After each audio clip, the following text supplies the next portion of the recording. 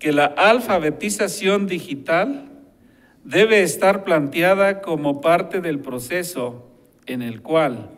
a través de lo ya establecido en materia de TICS, el alumnado vaya adquiriendo esta herramienta que le permitirá ampliar su panorama de inserción social y desarrollo integral. Debido a lo anterior, podemos decir que no, no, forma parte de una finalidad de la educación en sí misma, sino que en todo caso debe formar parte de las obligaciones que tiene el Estado para la formación integral de los alumnos.